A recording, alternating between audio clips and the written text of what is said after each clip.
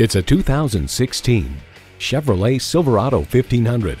This is the brainy and brawny tool you need when your office is what you drive. It comes nicely equipped with features you love.